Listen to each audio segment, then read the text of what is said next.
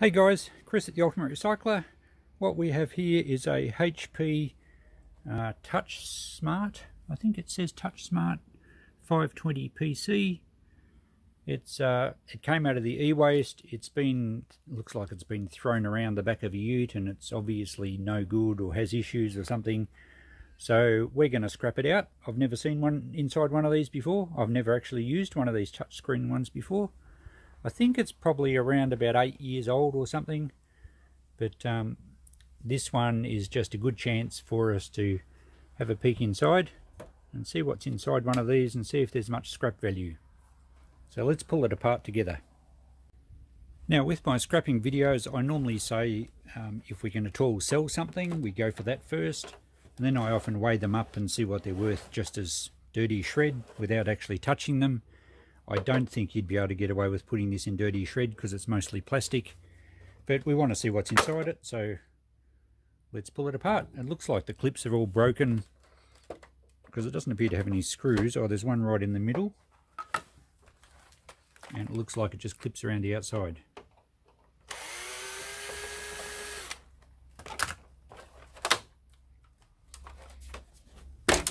There we go pretty easy to get off. We'll save that cover because we'll put it back on when we're finished and then we can take it out to the e-waste at the transfer station. Right, so it's clearly a computer. There's going to be a motherboard. Uh, there's a heatsink there for the CPU. A few little boards that'll probably go as mid-grade. That's obviously the hard drive. So we might... Oh, it's probably not worth taking the stand off. Sometimes you can get some pretty good metal out of the base. They often have cast aluminium or a good chunk of clean steel anyway. So we'll probably pull the base off and then we'll take the covers off and see what electronics we've got.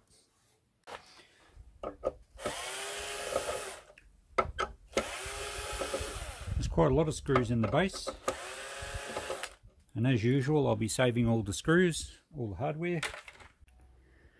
As usual, they hide screws under the sticky feet, so whenever you're pulling things apart, you can almost bet there'll be screws under whatever rubber feet they use.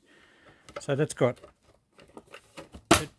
oops, there we go, little bits on the side. And I think we still have one more screw somewhere. Not only under the sticky feet, but under the stickers.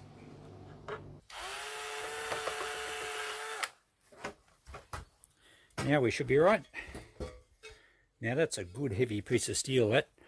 I don't think it'll be stainless. We'll check it with a magnet and it's magnetic so it doesn't matter if it's actually stainless or not. The fact that it's magnetic sorts it for me. But with the price of clean steel being pretty good I reckon it's worth getting these plates off the bottom.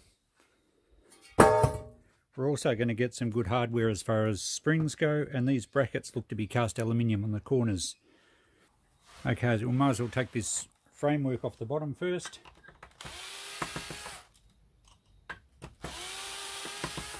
lots more hardware here and these are machine threads which are really handy rather than just all getting the self tappers out of the plastic. For those of you who haven't seen my videos before I do save all the hardware and put it in jars and it sells very well. So this has a, um, a spring assembly on it. Uh, we can undo those screws there and it looks like it's also got retaining nuts but the springs are worth saving and these end brackets are cast aluminium and they're fairly chunky, they're solid. So we got all that apart. The corner brackets are cast aluminium but they have what looks to be riveted through them a steel sort of an axle. Now we could put them in irony aluminium like this which I think is around about 50 cents a kilo. It's probably worth just giving them a thump with a hammer, breaking that section off and then at least we've got some clean aluminium because it's quite thick so we'll see how they break up when we're finished. Now, to get the rest of it apart, it looks pretty simple. There's one screw here for the hard drive.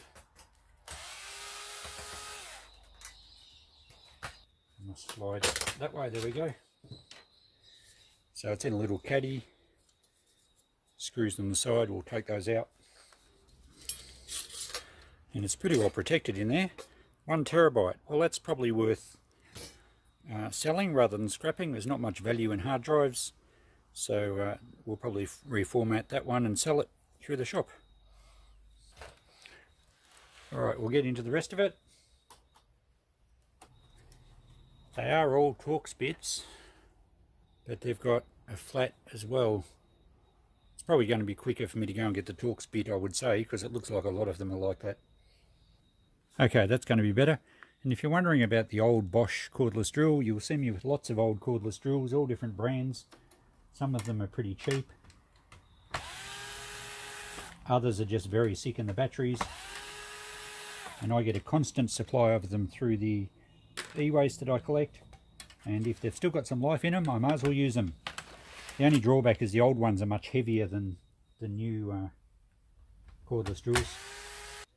So I'm just making this up as I go. I've never seen anyone inside one of these before.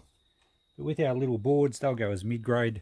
Uh, you do need to pull out all the plugs. We can't just chop the wires.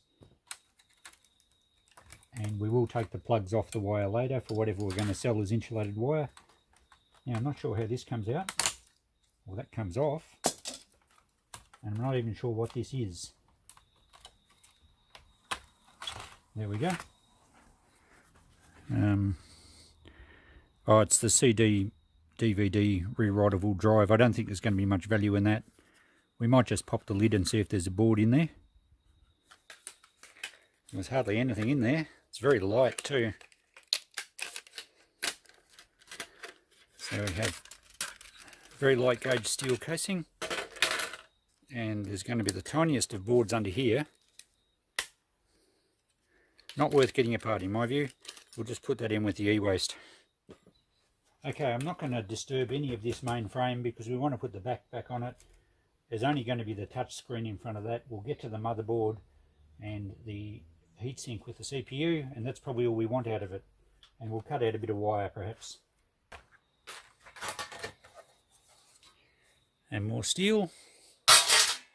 And there we go, there's the motherboard. This looks pretty interesting. Little RAM sticks. Now I don't know if they'll be saleable or not. We'll better be careful pulling them out. The battery's got to come out and we'll unplug the leads. This is a pretty cool looking heatsink, lots of copper. So we'll undo this, see what the CPU is, and we might as well get the motherboard out.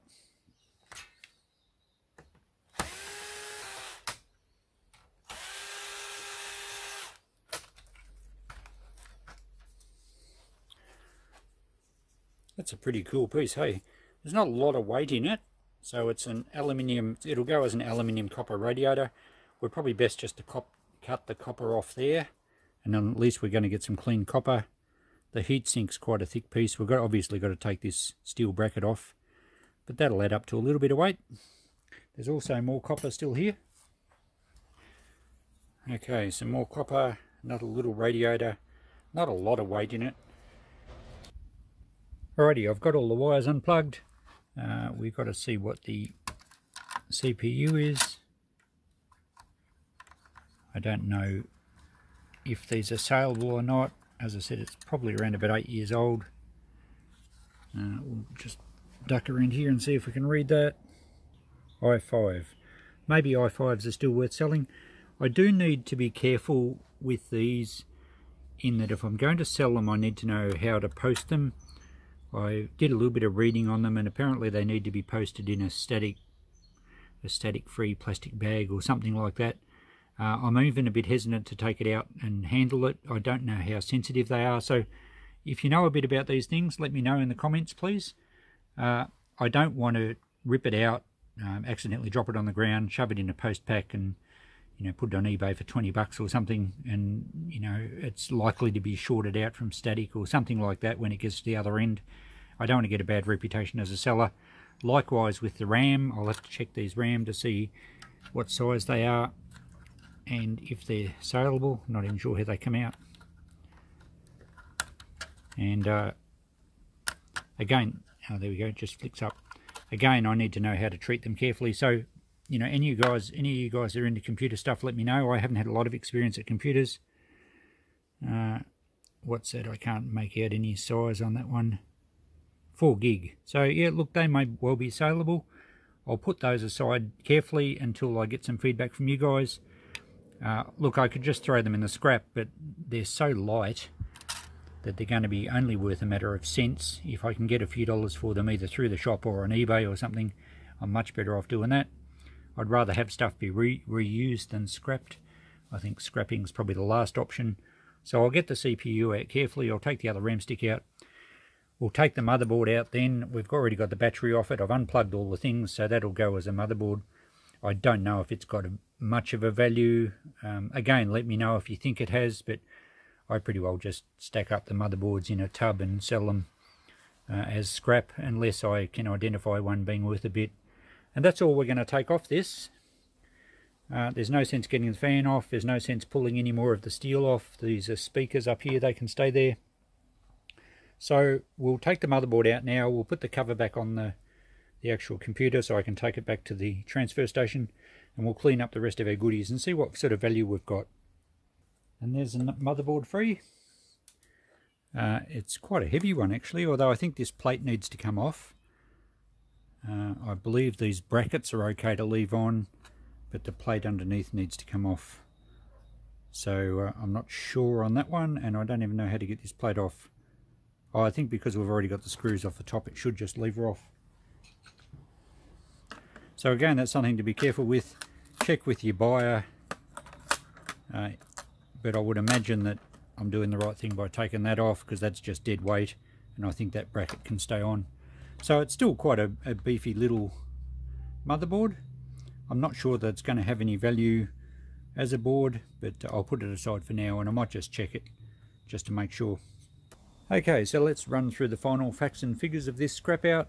It's fairly windy out here today, so I've actually written all the prices down already, but we'll go through them now for you. We had the pile of clean pressing steel. I've worked on 25 cents a kilo, about 60 cents. Next one was a bit of insulated wire which I chopped the plugs off and then we also left a little bit of low grade wire with the plugs still on and they were just 5 cents each. Uh, very low quantities of course. Now I chopped the the radiator parts off the heat sinks. They don't weigh a great deal but they'll sell as copper aluminium radiators and that left us with a pile of copper. It'll go as number 2 copper uh, because it has bits of solder and whatnot on it. It's not um, perfectly bright and shiny. And so weighing them out, we got 30 cents for the radiators, 90 cents for the copper. A couple of uh, mid-grade boards are really tiny ones. Where did I put them? Over here. Um, just for the sake of a figure there, 5 cents. Then we have the irony aluminium. Now, I quickly tried to smash that off and it wouldn't smash. It was quite tough. I suspect it's a bit of a, a zinc aluminium alloy. Uh, it still would go as cast aluminium, but I tried to punch the rivet out quickly. I even started cutting with a hacksaw, but I didn't have a sharp blade, so it wasn't worth the effort. We'll just sell them as irony aluminium, 50 cents a kilo at the moment for that. So as they are, they would bring back 20 cents. Now the better payer, and we're just looking at scrap for this option, the motherboard, uh, as I said before, it's quite a, a weighty one. That worked out at $1.80. The RAM worked out at 30 cents, just approximate. The CPU about 20 cents. The hard drive about 40 cents. And the hardware I valued at 50 cents. And I get that figure from, I sell jars of assorted hardware, which weigh around about 2 kilos for 5 bucks, and they sell very easily. So that would work out then at $2.50 a kilo and we had enough here about a fifth of a kilo. So there's 50 cents. Um, so that's where I got my figures from just for scrap and a little bit of hardware just over five dollars. So for those of you that probably can't sell hardware say five bucks. Uh, scrap wise it's worth doing I think. It's you could knock one of these apart in 10 minutes or 15 minutes if you had you know a few to do in a row. They uh, they're always fun to pull apart. And I think then it's a, a, viable scrapping exercise. We all like to stash away a bit of copper. Uh, for those of you us who uh, who melt it, it's probably good copper to do that with. Uh, the price of steel is pretty good at the moment. So that's purely for scrap. Now, for those computer orientated and who like to do a bit of eBay selling perhaps, I did get some rough prices. Now it's pretty hard to work out uh, the CPU was an i5. They seem to sell between 20 and $30, but as I said earlier, I really need, to know how to package them properly. I probably personally wouldn't put something on eBay to make 20 bucks. By the time you take your time into account to list it, there's going to be some fees and then you've got to package it. Uh, I don't think I'd bother, but some of you might be uh, that way inclined. Same with the RAM. Now I could probably put these in the shop and maybe at $10 for the CPU, uh, maybe $20 for the pair of RAM, so I can get much better value that way. The motherboard was a curious one. I typed in all the numbers off the board and some were selling buy it nows for you know almost $200 and yet it's about an eight year old motherboard. So maybe there's something I'm not looking at there. Uh, but there were quite a lot seem to have sold mostly overseas. Uh, but as I have no way of testing it and the computer was obviously thrown in the e-waste because it had issues uh, I wouldn't be confident in trying to sell the motherboard and, and I guess that would include the RAM and the CPU already on it so I don't know. I let me know your thoughts on that. Do any of you actually do sell your motherboards? If it was a modern computer, I'd probably give it a go, but an old computer that came in the e-waste, I wouldn't be happy retailing that on eBay and just crossing my fingers that it was a good goer. The hard drive, though, is a different kettle of fish. Now, we'd need to format it, and you'd need to do a little bit more than just your, your standard Windows quick format. I think you've got to download a program to format it properly because you do have to be careful of privacy of data. I don't know where this computer came from. I have no idea what's on this hard drive. Uh, yes, the people who threw it out probably should be more careful, but I'm not going to propagate any um, distribution of data that might be a privacy privacy breach. So it would need to be formatted properly, which is going to take time. But the, the one terabyte hard drives do seem to bring $50 consistently. So I would probably get that sort of money in the shop, but I would have to format it. So when you look back at our scrap price, the hard drive was only 40 cents. So I think there's good avenue there for making some extra dollars on the hard drive. You can be assured that it'll be in good order if you are running a proper reformatting tool on it. So I think that's worth doing. Anything above one terabyte. Of course, depends when you watch this video because if you watch this video in three or four years time the one terabyte is probably be considered small and useless. So you will have to consider whatever size hard drive you get out and whether it's still currently sought after.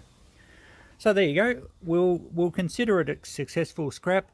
Um, even just for the scrap value five bucks in 15 minutes is is not too bad. It's good fun you're not generating very much wastage at all I'll take this um, unit back out to the transfer station so it'll get recycled and I'll put all these other respective piles in there in their various bins and buckets and I'll sell them as scrap down the track but I will look at reformatting this and I might do a bit of research and do another video on how to safely reformat a hard drive uh, and what programs perhaps work the best. So thanks for watching. Look out me for me in the next video. I'll probably do some more scrapping ones soon. I know a lot of you have joined my channel for those, so we'll try and keep them coming. See ya.